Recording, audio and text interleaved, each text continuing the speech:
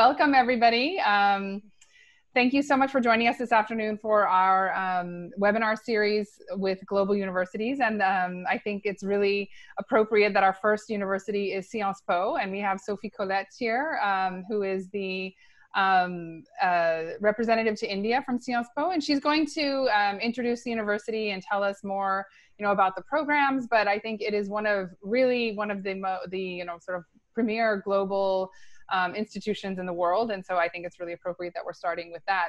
Um, I also just want to say a little bit about. Um, the Red Pen. So I'm Kim Dixit. I'm the um, CEO and co-founder of the Red Pen, and my partner Namita Mehta is also on here.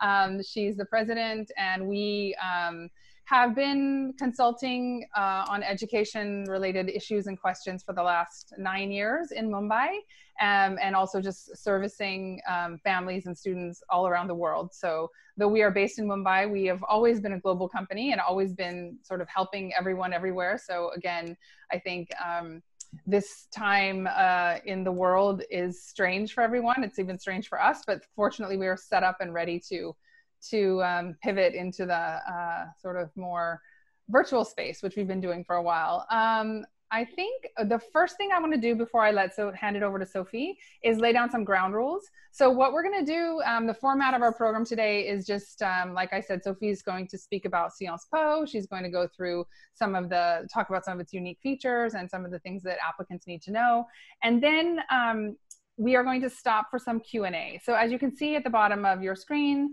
um, on Zoom, you have a Q&A um, sort of uh, box. so if you click on that box, you can put any questions in there at any point. Um, you don't have to wait until the end, put your questions in at any point, and then we will go through them and sort of collate um, the ones, because I'm sure we're gonna get repeat questions. I don't think that people can see each other's questions, so we will collate the questions and then get, let Sophie answer the questions. So um, I think that is it. I think I've covered everything um, that I need to in terms of housekeeping rules, right, Namita? Yep, all good. Okay, great. So I'm going to hand it over to Sophie and let her um, say a little bit more about um, Sciences Po. Yes, thank you so much, uh, Kim. Thanks so much, Namita, and, and all the team at the Red Pen for organizing this.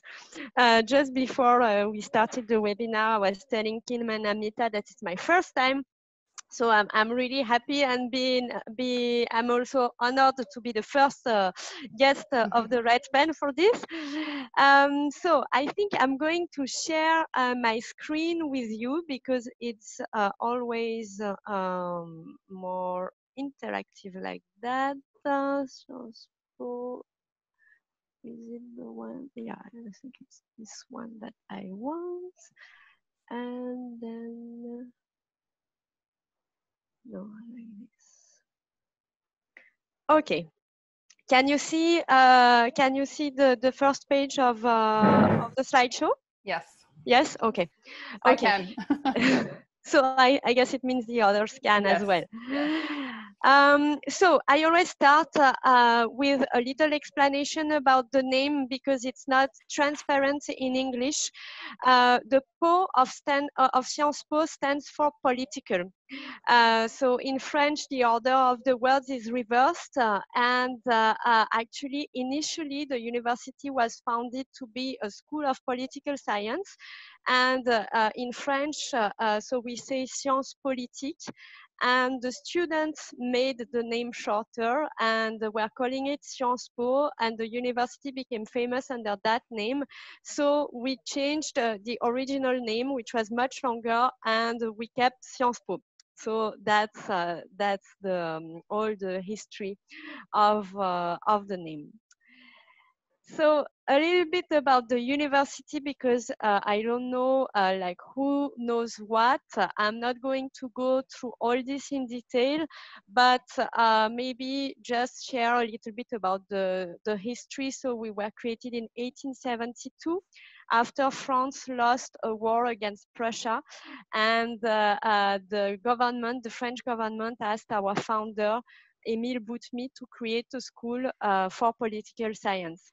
But since then, like we grew a lot. Uh, we grew uh, in numbers. As you can see now, we have 14,000 students. We also grew in terms of the disciplines taught. Uh, we don't concentrate anymore only on political science, but we offer social sciences at large. Something else uh, about the university, uh, we have approximately half of the students who come from outside France. We don't require any French uh, for admission. Actually, now we have more than half of our programs also, which are entirely taught in English, so no worries for the language. And uh, we are ranked uh, this year the sec second best university worldwide uh, for politics and international relations. This is by QS rankings by subject. So the rest of the slide, I will uh, leave it for now, but in case you have any questions later, of course, uh, I, can, I can answer. Uh, so Sciences Po, I think, is really famous uh, generally because uh, all the French presidents uh, since uh, the 80s have uh, studied at Sciences Po. Uh, the third photo that you see on the screen, uh, Nicolas Sarkozy is the only one who actually didn't graduate. He went to Sciences Po, but he didn't get the degree. And um, the legend has it that it, it was because his uh, English level was not good enough. Uh, we also know that he was already involved in politics, but uh, so that's probably a mix of, of the two reasons. But on the left part, on the first photo, uh, you would recognize Emmanuel Macron, our current president. Before that was François Hollande then Nicolas Sarkozy, Jacques Chirac, François Mitterrand. We are at the beginning of the 80s. And between the last two photos, there was actually one president who didn't go to Sciences Po. so uh, that's, uh, that's, of course, our star alumni. Uh, at the end of the presentation, I have added other profiles of alumni. In case we have the time, I'll show you other examples, including people uh, in India or people from India. But yeah, for just this short presentation, I'm, I'm giving you our like bigger, biggest names. Um, closer to India, like the former president uh, of Sri Lanka, Chandrika Kumaratunga, she also uh, studied at Sciences Po. She did her PhD at Sciences Po. So this is for alumni. Uh, since I know that the audience today uh, is uh, more interested in undergraduate studies, I will focus on that. In case some people have questions about uh, master's programs. Uh, I, I, will, of course, uh, answer everything you're interested in. So first, uh, where uh, do students study at the undergraduate level? So this is a map of France. Um, the capital, Paris, uh, uh, is in the north, uh, in the center north. Uh, I have put a cross on it because Paris is our master's campus. So we still have a small undergraduate program there, but it's fully taught in French. Uh, so I don't think, and it's not accessible through international admissions. So that's why I have like uh, deleted it uh, uh, from um, from the map. But otherwise, we have six other campuses which are open, and the three campuses that are circled on the map offer uh, English taught programs. So to be like honest, like uh, um, all our Indian students go there, uh, though we don't uh, decide for them. So in case you have proficiency in French language, you are welcome to join any other campus. So the students choose uh, their campus. Um, how do they choose? Uh, first, the, the language of instruction. So I was telling you uh, English in the three campuses that are circled. For the three other campuses, French language is necessary and sometimes another language. For example, the Nancy campus on the, in the east of France, then you have to speak, uh, there you have to speak French, German, and English uh, or for the Poitiers campus, which is the one on the west part in orange color, uh, Europe and Latin America campus, uh, there you have to speak uh, French, English, and Spanish or Portuguese. So for the three English speaking programs, um, in these three campuses, so now we have like shortlisted these three, how do you choose? Well, uh, each campus has a specific regional focus. Uh, it means that certain classes, but not all classes, are dedicated to this area of the world. And as you can see, it's never only one area, it's always Europe with another zone, another region, another continent. So for example, in Le Havre, northwest of France, we have the Europe and Asia campus. Um, in Reims, we have the Europe and North America campus. This is uh, northeast from Paris, the, the pink um, square. And then on the Mediterranean coast, uh, right at the south, like Green Square, uh, we have uh, the Menton campus focusing on Europe, Middle East, and Mediterranean countries. So the students choose where they want to apply. We don't decide for them. Uh, it's really according to their interests and their passion rather than their own origins. So of course, like we have more Indian students in Le Havre uh, because naturally students feel uh, uh, drawn to um, studying their own region, but you don't have to choose this one. It's entirely up to you. And I was telling you, it's always Europe and another continent because we want to give you an European perspective. We think that's also why uh, students join us. And that's also the way we imbibe international relations uh, in our curriculum. Okay, is everything clear? Yes? Uh, so here I've just included a few pictures. So this is uh, uh, Le Havre campus. So it's right uh, on the seashore. You have a view of the on the docks of the harbor. It's uh, uh, it's a city with a very big harbor actually. we have the campus, the campus in Reims, Reims, focusing on Europe and North America which is actually uh, set in an old monastery. It's a very, very beautiful place. It has been converted in a campus uh, like uh, uh 15 years ago, uh, but it's a historical monument. And uh, the Middle East and Mediterranean campus in Menton, so this is close to Nice. It has a beach, a sea view. It's right behind the beach, so it's also a very beautiful. Something I can tell you about the campuses is that don't imagine, as you maybe uh, already have seen from just a few photos, don't imagine like uh, big American campuses being like a city within a city or outside the city. Our campuses are city center campuses, so it's more like buildings with, of course, some outdoor space uh, for the students, uh, but uh, it's not um, it's not a sprawling campus uh, on a very very, uh, uh, big properties, uh, etc. So that's a question that I get quite often. So I'm mentioning it here. So now about the curriculum. What would students do and what would they study over the three years because we are a, a three-year program. Um, so if you have to remember only one thing about Sciences Po at the end of the presentation, it's that uh, we offer a multidisciplinary program. So it's really for students who want this multidisciplinary approach, who are interested in getting different perspectives on the world and who do not want to specialize right away. So our core courses are uh, so five social sciences plus humanities. So economics, history, law, political science, sociology. All the students have to follow these five core social sciences across the three years.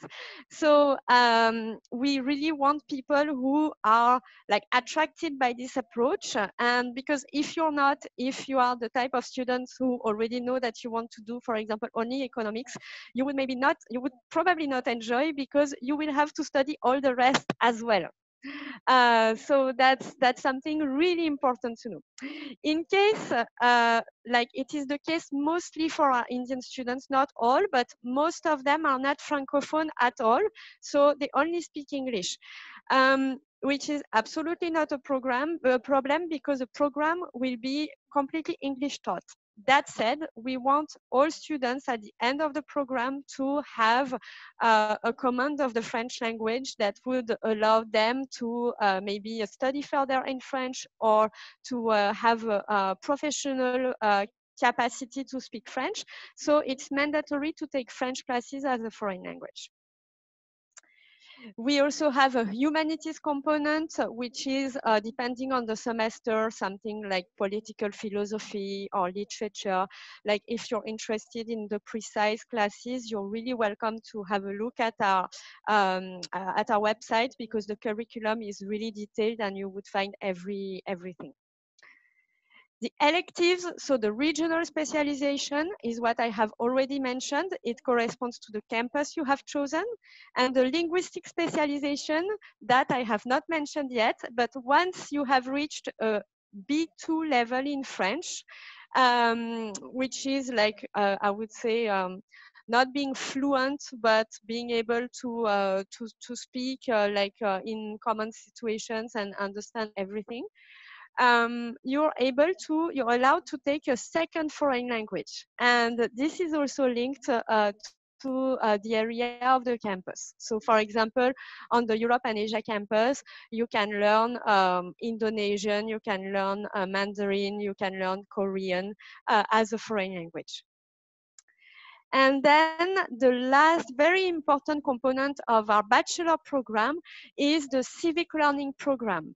So uh, we wanted to imbibe uh, this idea of contributing to society uh, as a mandatory part of the curriculum. So the civic learning program uh, is uh, uh, basically a program that will run throughout the three years.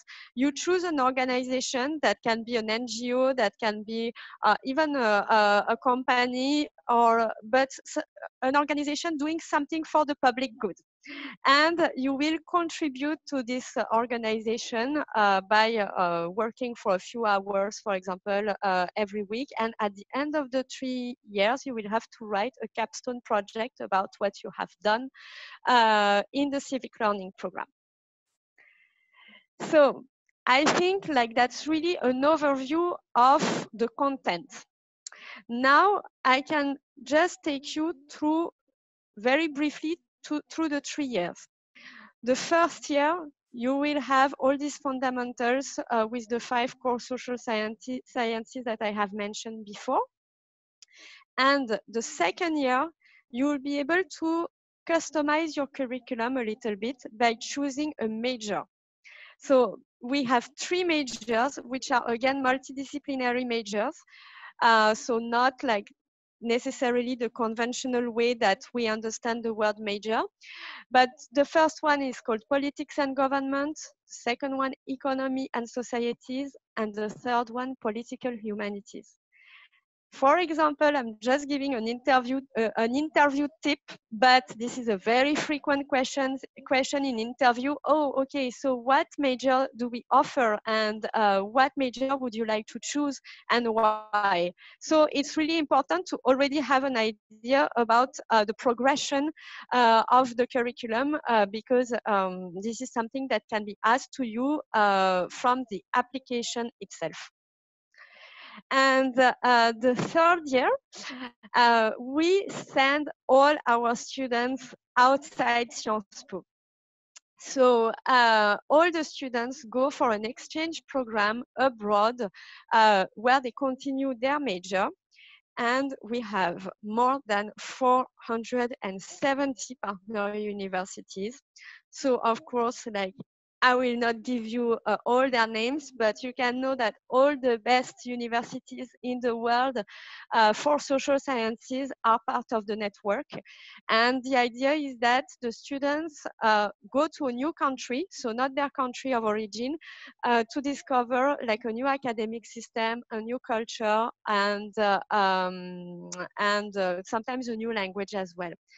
So we have a lot of universities, partner universities in the US, uh, Canada, uh, in Europe, of course, because as I was saying, like we are a, a European university, so we have like signed a lot of uh, partnerships with uh, European universities, but literally all over the world. So um, Latin America, Africa, Asia, Australia, wherever you want to go. And students choose where they want to spend their third year abroad. So during your second year, you have to, you first uh, receive information from my colleagues who organize information, information sessions, and students can select the universities they would like to join. They select six wishes, and they are uh, assigned to uh, one university. So they have to follow classes exactly like local students, uh, earn good marks, credits, etc. At Sciences Po, we receive all the mark sheets, and if the results are good, then we grant our uh, degree, which is a bachelor, a BA in social sciences. So this was an overview of the bachelor program. I'm just going to say one word about another program which is also very attractive. Uh, we have nine dual bachelor degrees with nine uh, partner universities. So here on the screen, uh, you can see their, their logo. Um, so what's the difference between the regular degree and the dual degree?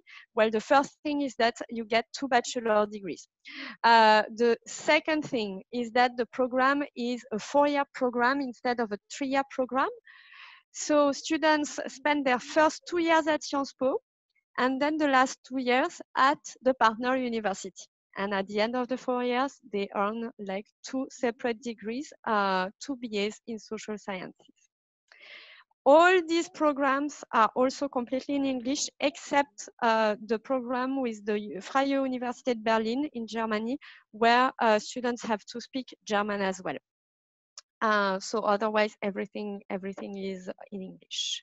So this is also something like it's it's obviously very very competitive because you see uh, like uh, um, that our partner universities have equally demanding uh, admission requirements at Sciences Po, at Sciences Po. Uh, but I mean these are also wonderful programs. Uh, so if you want to know more also about them later on, I'll be I'll be happy to answer questions. Now, if I have some time, can you tell me if I can uh, uh, speak a little bit about the fees and uh, admissions? Um, or you prefer to, you tell me. I'm done yeah, for the content. Yeah? Sure. Okay. Yeah, go ahead. Go ahead, please. I think everyone will be interested in that. Yes. so the fees. Um, so 10,700 euros uh, per year at the bachelor level. So as you can see, it's uh, relatively more affordable than a lot of even our, our own partner universities uh, in the US, in the UK, or somewhere else. Uh, that's because uh, Sciences Po is half public, half private. So uh, we have heavily subsidized uh, tuition fees uh, by the by the French government. So that's uh, that's how it works. If you want to add uh, living expenses to that, it's approximately I would say uh, the same amount. So around 10,000 euros uh, per year for living expenses encompassing everything. And um, on top of that, we have a scholarship. So at the bachelor le level, there is only one scholarship because the, the French government is not um, is not um, delivering uh, um, scholarships uh, uh, at the bachelor level. They concentrate on the master's level. So our only scheme is uh, Sciences Po's own scholarship called Émile Boutmy, uh, after the name of the founder, and it's a tuition fee waiver. So it's not a complete tuition fee waiver, but up to 70% of the fee of the fees can be discounted. So it means that certain students, like the students who get the maximum, they pay around uh, 2 lakhs, uh, 2, 2.5 lakhs in rupees to uh, attend Sciences Po. So um, so yes, I think about the scholarship. I have it. And then application process. Should I go into that? Yes. Um, so our application process, uh, it's pretty like regular. I don't think there are many surprises here. Uh, it's a two-step process. The first step is an online application and the second step is an interview. So the online application, uh, for that, we require uh, the documents that you can see on the screen, pretty regular again, like the resume, uh, the mark sheets or transcripts for grades 10, 11, 12, a personal statement, two academic references. Um, we don't need any SAT, we don't need English tests, uh, provided that the English test you'll be exempted if you have studied in an English medium school, which I guess is always the case for our, our candidates. And SAT, uh, you don't have to submit it unless you want to uh, appear for a dual degree with an American university and they will require it. But if you if you apply for only uh, the regular degree at Sciences Po, we don't we don't require it. The second step uh, is an interview. So uh, for next year, I don't know exactly yet the exact duration because usually it's a 30 minutes process and with the COVID crisis, we have like switched all the interviews remaining online and transformed it in a 20 minute process. So for next year, there are chances that we remain completely online and uh, I cannot tell you officially because I don't have the information. So it will be either 20 minutes or 30 minutes. Um, what is assessed is the critical thinking is very important uh, for us at Sciences Po. Your ability to put uh, uh, things in context, uh, to debate, to think of the spot, and also, of course, your linguistic abilities. But I mean, generally, it's really not, not a problem with our Indian students. And after that, like after you have gone through your interview, approximately four weeks later, you will get an unconditional offer. So we don't give the offer right away because there is a final jury which happens in Paris where uh, the jury compares like all the dim dimensions of the application, so the online application uh, and uh, the oral interview. So that's how it works. After that, you receive your offer and uh, you're ready to uh, prepare uh, to join. So I think this will be my last uh, slide. Um, I included this just to speak about the profiles of the students uh, that that we are keen on and uh, and who do well at Sciences Po. So I, I wrote first, you are passionate about exploring the complexity of society. So Sciences Po is really not going to give you um, white or black uh, answer and uh, we see nuances. We always uh, want to see the flip side of the coin and all the different aspects of a problem. So I, I think that's uh, that's something that we are also looking for uh, in our students. You have excellent academic records uh, because yes, it's necessary to have uh, good grades to join Sciences Po, uh, necessarily, but not enough. Like only the grades will not get you admission. Uh, the rest of the profile also has to be has to be strong. Um, you want to build bridges between disciplines, cultures, work environments. Well, our like curriculum is multidisciplinary we have students from all over the world. So we are, of course, looking for this open-mindedness also in our students. You participate in extracurricular activities. Well, that, that goes with uh, also the uh, an all-rounder kind of a profile where you are not just only studying and focusing on, uh, on school. And uh, uh, maybe the most important thing, you want to have a positive impact on the world around you. We really want students who want to contribute. Uh, so they might join all kinds of careers later on, uh, but we want the common points between them to be like doing something also for others. You might be uh, uh, in a business or you might be a diplomat or you might be a researcher, but we want students and when they are graduates to contribute to a better world. So I, I think that would be my, my conclusion. Great. Thank you so much, Sophie. It has been a great refresher for me. And um, uh, it's always good to, to remember what the requirements are of different universities. And I think Sciences Po is so unique that I'm glad we um, kind of, you know, that you laid it out so clearly for us. So um, I think I'm going to go ahead now and um, share my screen. Sure. Um, and maybe ask you some questions that so, we have. So then I think I have to. No, you don't have to do anything. I uh, okay. I just took over. Okay. Okay. okay. Perfect. um, uh, everyone can see my screen, I guess. Um, so yeah, um, this is uh, again Sophie, who I've already introduced, and her email address is here. So if you do end up having specific questions after this session that are not answered, you can always reach out to her directly. And she, uh, Sophie's based in Mumbai, so um, yes. she can speak to you at any time. of course. Um, so, um, Sophie, I think with this, uh, what's the question on a lot of people's minds now is, you know, um, with you you already mentioned that the application process has changed and now that you know you're going to get a whole new you know you guys haven't even finished i think your intake for for next for 2020 but for 2021 when you start getting those applications do you already think that there will be certain things that you'll be looking at differently or evaluating differently uh, when you're looking at student applications who, uh, of students who've who've had to do their 11th grade um, in the middle of this pandemic and and things look really different on their transcripts or in their extracurriculars have you have you thought about how you'll look at those differently so actually, I'm not part of the deciding team on that because at Sciences Po, we really separate people who do the promotion and help students applying like me and the admission officers. Uh, that said, um, so the main adaptation this year, yes, I've talked about it, it's to switch all the interviews, uh, uh, of course, online and uh, making the process uh, also shorter.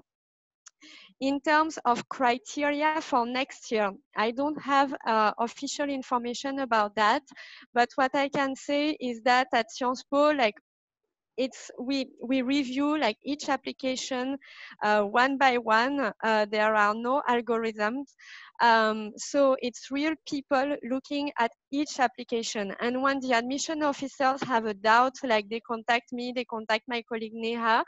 Uh, so I, I don't think that anyone should be and would be penalized uh, for uh, for the crisis uh, this year. And uh, we would certainly put some focus on keeping it, keeping the process as fair as possible.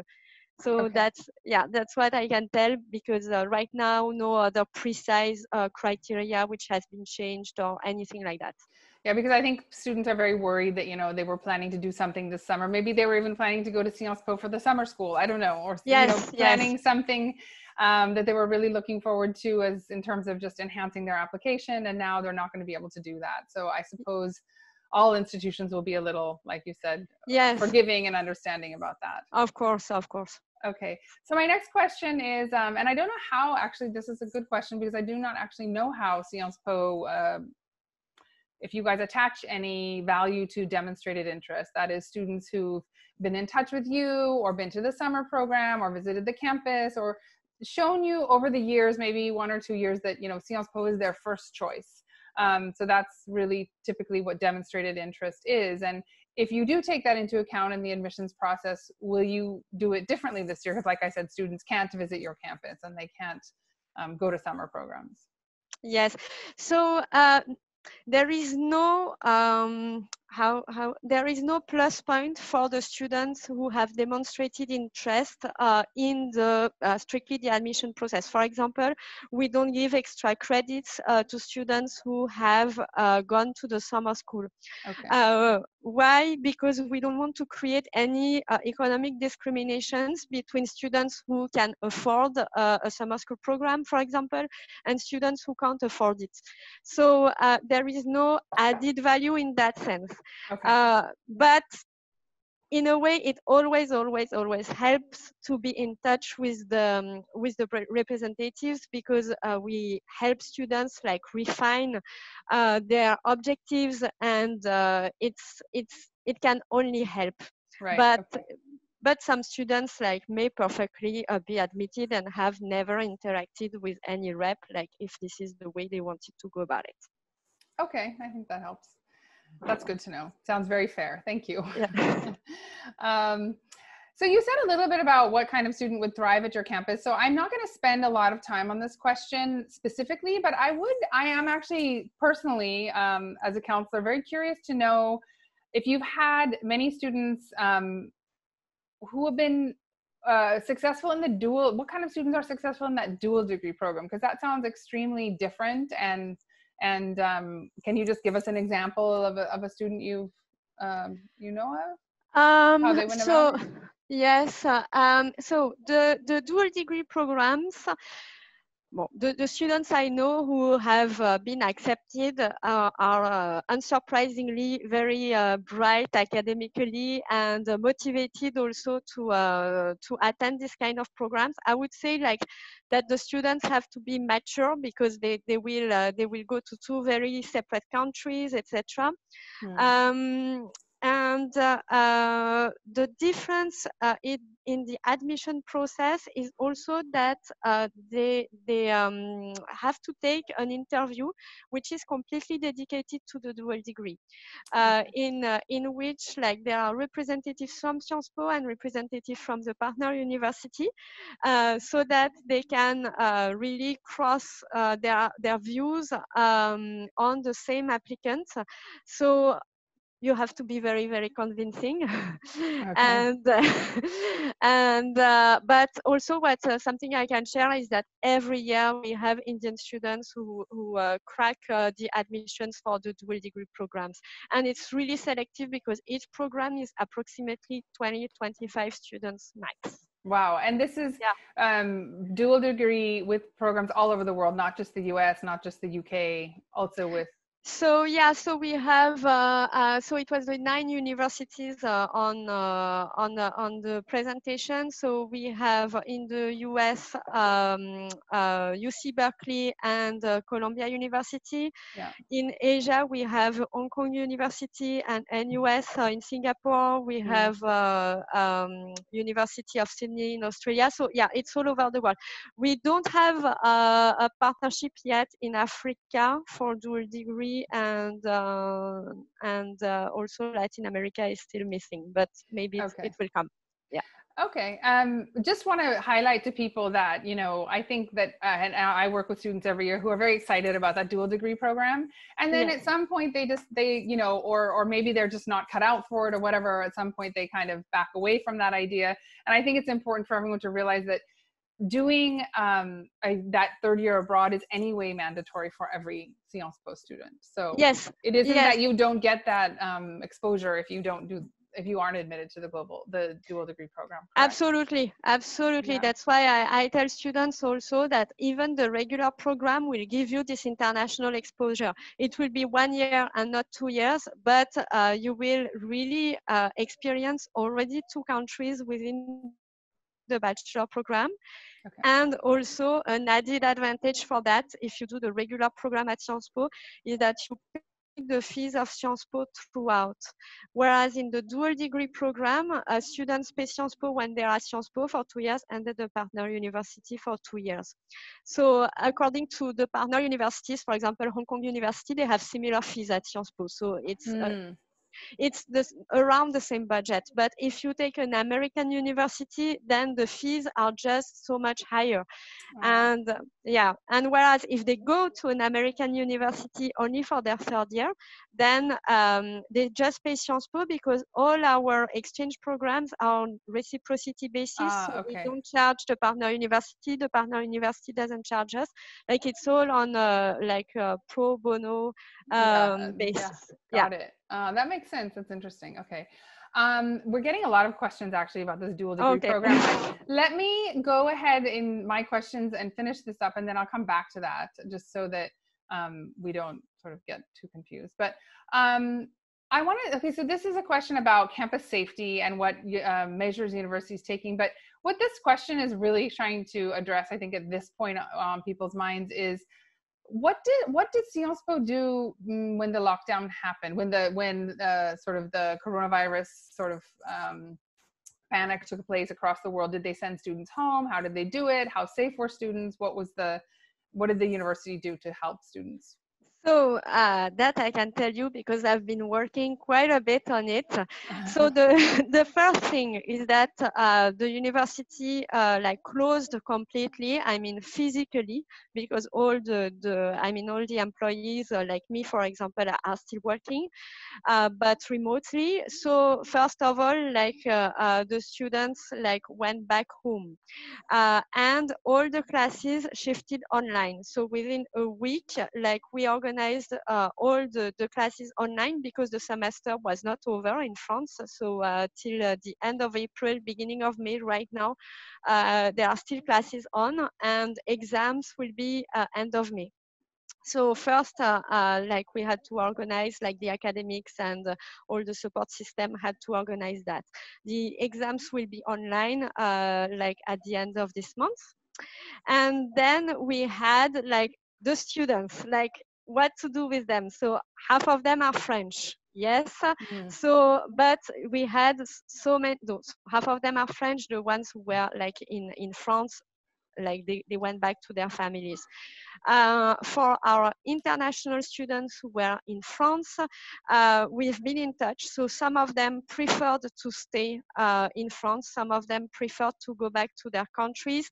So when it was possible with uh, with flights and all, like uh, uh, we know that approximately like half of them have gone back. So we have been in touch with all the students individually, sending out forms for us to see who was still in France, who who was um, abroad also because we had all the exchange students abroad, uh, and uh, and then we handled uh, all the cases that uh, of students who needed some help uh, individually. So it was a big, uh, a big operation that that uh, took a lot of time and energy for for all of us, like working at the international affairs uh, department. Wow. So, yeah. added responsibility for you this year, I guess. yes, yes, yes, yes. yes. Okay, that's great. All right. Well, interesting. It sounds um, like you handled it quite well, and I'm sure that like you said, you have French students in France. You also have French students in other parts of the world. yes. back to France. It's like yes, all over the we place. have French students in France, uh, uh, foreign students in France, and French and foreign students abroad. Yeah. And all the exchange students also. So it was really a big, uh, a big machinery. Now uh, everybody is safe. I, everybody was kind of safe throughout, but yes, there were emergency situations uh, that we had to act upon. Great. Okay. Um, this next question I think is um, one one you know thing that I can say in response to this question uh, myself is that um, one of the best ways for prospective students to learn about student life and campus experience uh, for Sciences Po is to contact you because whenever I have had a student um, interested in Sciences Po, I can say Sophie is ready to come uh, to, to the to the student's school and sit down and talk with them for an hour and go through all of this, or rather, you know, speak directly to the to the family or whatever it takes, right? So I think that's an amazing resource for anyone who's interested in Sciences Po.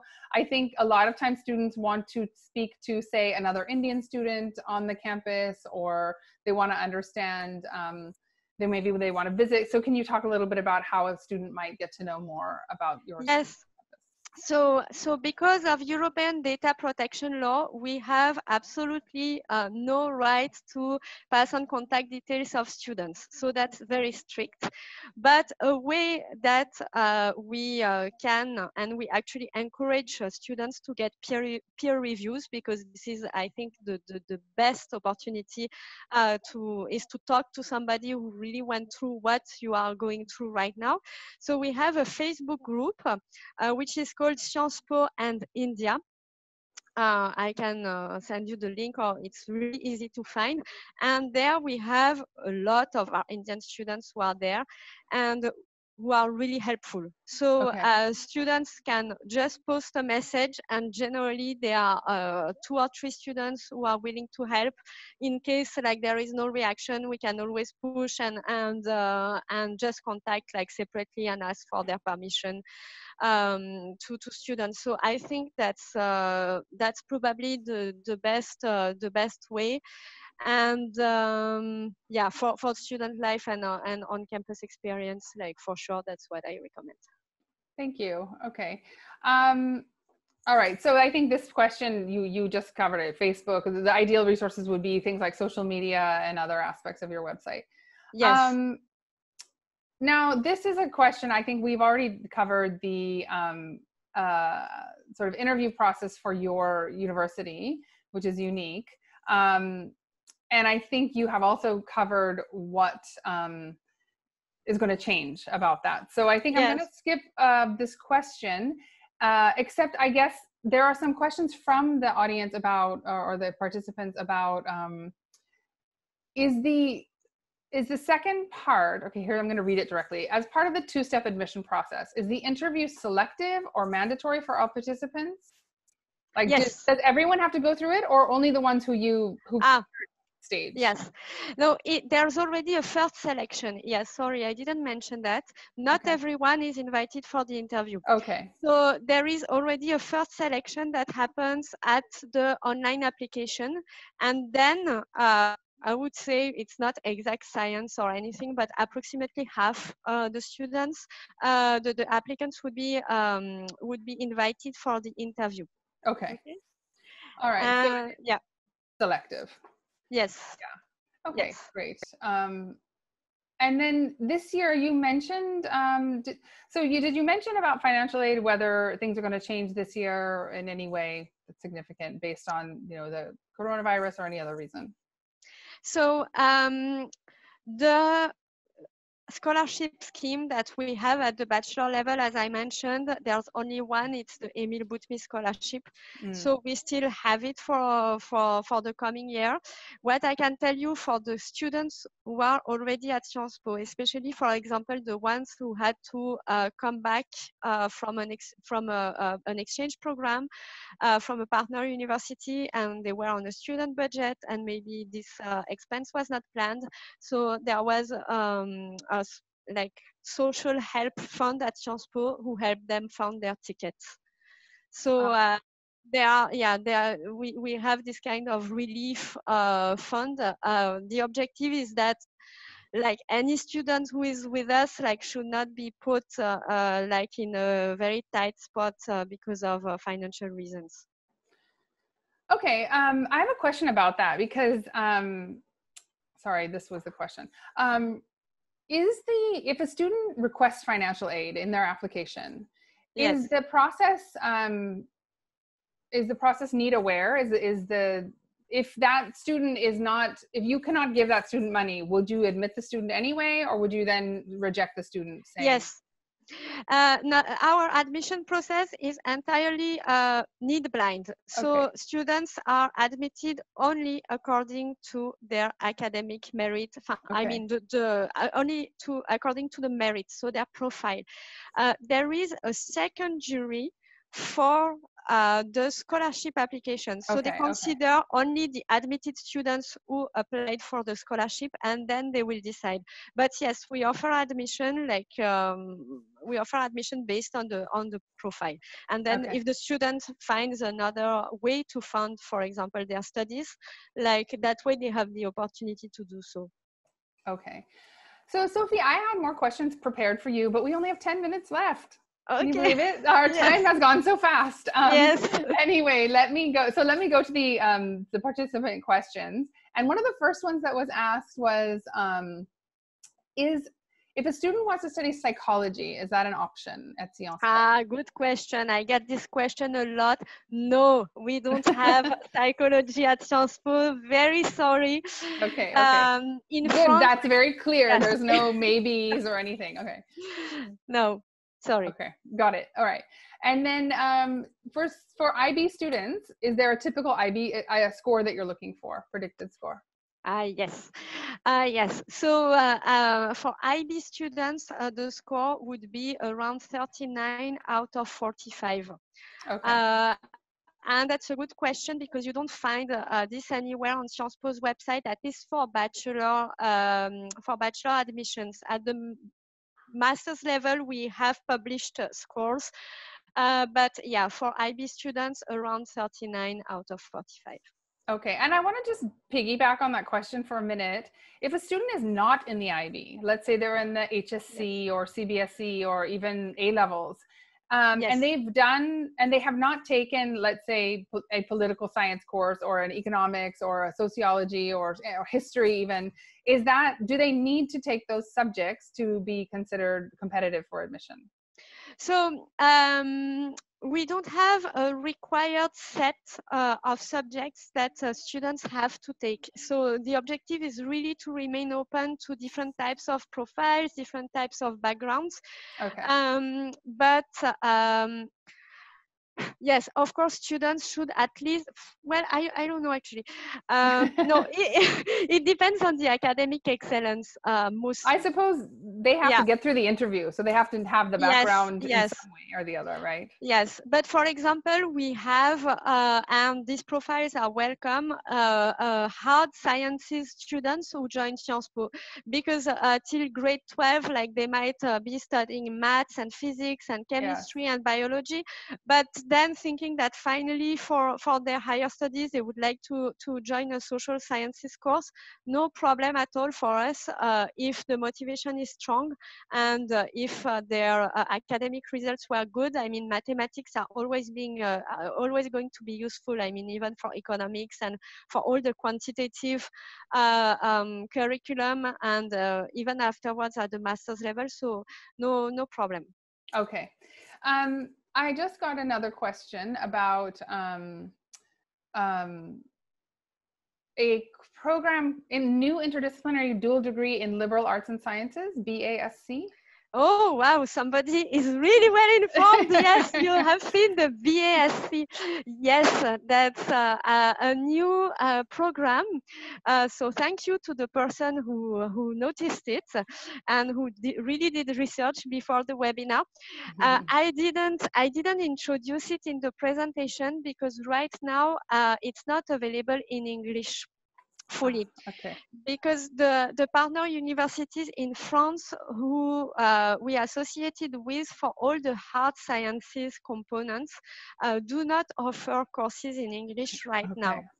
So uh, once we develop it in english like uh, i'll be happy to talk about it or if uh, the participant who has this question is a francophone then maybe uh, they can write to me and and i would I, I would help. Okay excellent. Thank you and thank you for that question, Neha. Yeah.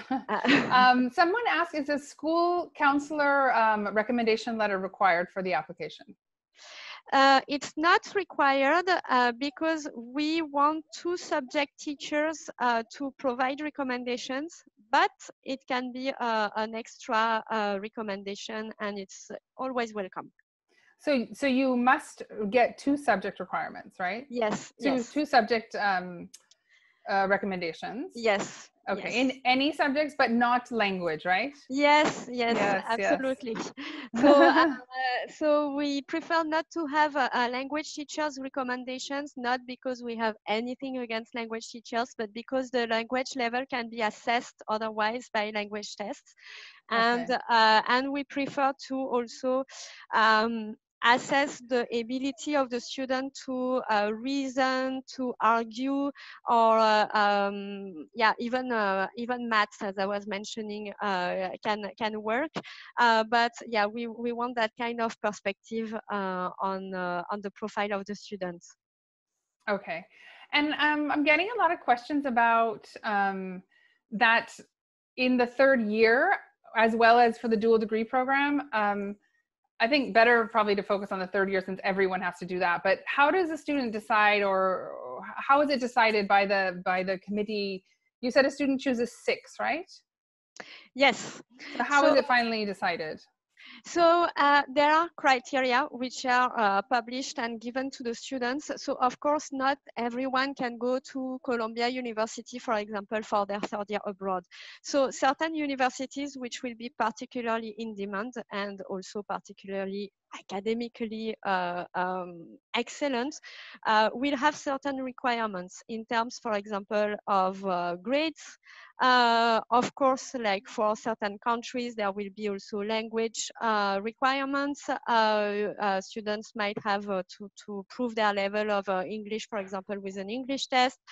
Um, so, so these um, these uh, criteria are there, and uh, they have to also write a motivation letter where they explain why they uh, have chosen these universities.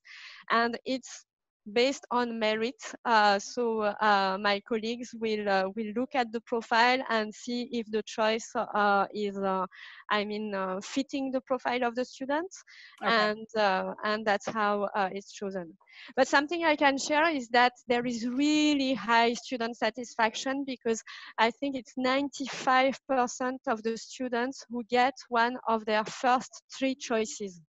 Okay. So yeah. Great. Um, I had a question about, um, well, someone has asked, is there a separate application for scholarships or students just need to tick a box on their main application or how do they apply for the scholarship? Uh, at the bachelor level, you need to tick a box in the application. Okay. Yes. And then um, you mentioned that like for, if a student wants to do a dual degree program, say in the US, they have to take the SAT or whatever the requirement of that university is, they have to meet that requirement, correct? Yes, yes. So is it the same for, um, specifically asking this about Germany because they're so rigid. So with the uh, German uh, program, if a student wants to do that dual degree with uh, mm, Freie Universität Berlin, yeah. Yeah. So to be super transparent with you, since I've never had uh, the case, I, I think I've, I've, had the case of one or two European students who were studying in India applying for, for Berlin. Uh, I don't want to give you any wrong information, um, but uh, I can I can check that. What are the criteria okay, for, okay. for for the Berlin dual degree? Yeah but for Berlin, the, so is, is there any other um, university in that in that uh, this set of choices that is very difficult, has really high requirements that somebody should be aware of? Besides National National University of Singapore. Okay, like, good. According, according to me, like this is the one which is the most selective in terms of grades. They are really uh, Singapore, I, I, guess it's very, very competitive yes. uh, in terms of university culture. So, uh, so yes, uh, they want almost perfect scores. Oh, wow. Uh, so, so yes, so I advise you to apply to NUS to the dual degree with NUS only if you're really up there. Like uh, yeah. the the other universities, they are more like Sciences Po. They, they look at the at the entirety of the profile and uh, they are yeah they more are holistic, not so yeah. set more holistic not so set on grades but uh, i know from uh, my uh, admission officers colleagues that nus is extremely tough Yes, that is true. And if a student applies into that dual program and is not admitted to, say, NUS or Columbia or wherever, UCL, can they still be admitted into the three-year Sciences Po program? Yes. Okay. So I actually these are separate applications.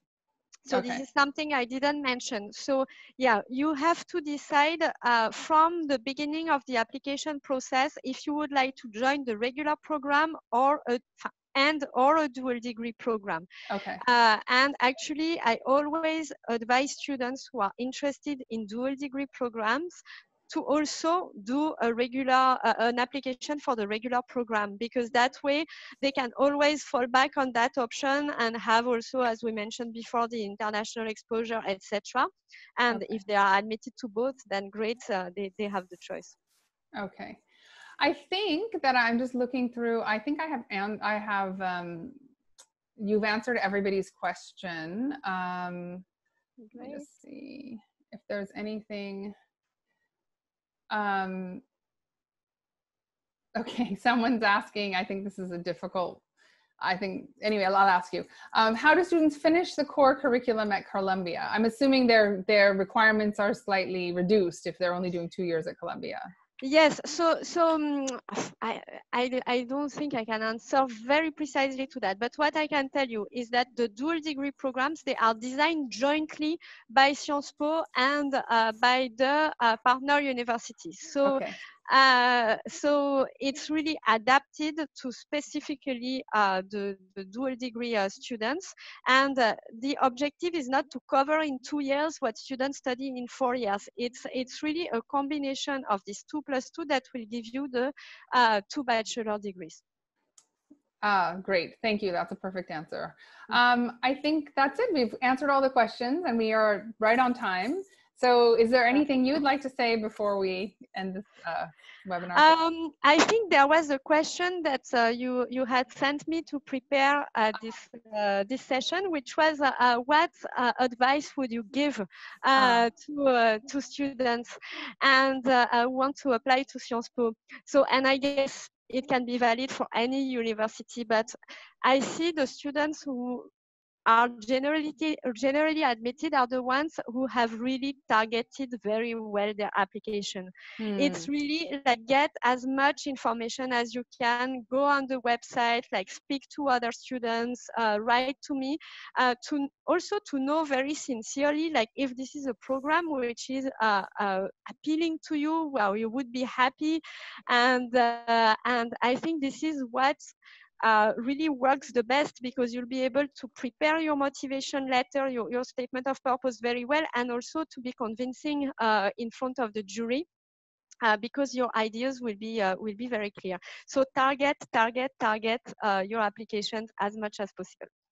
Thank you. That's great advice. Um, well, I'm so happy that we started off the this uh, our webinar series with you, and um, you've it's been I think a great success, and we've gotten so much good information about your university. So thank you again, Sophie. And I just want everybody to know that this um, webinar was recorded. We will post it later on our social media and, and YouTube and everything, so people can access it later if they want to revisit the information or even just go back on it to get Sophie's email address. all right. Thank okay. you so much. Thank you to all the participants and thank you to Red Pen for organizing this. I was really happy to. Thank you. It was just a pleasure. Have a great day. Thank and you. stay safe and stay thank well. Yes. Bye everyone.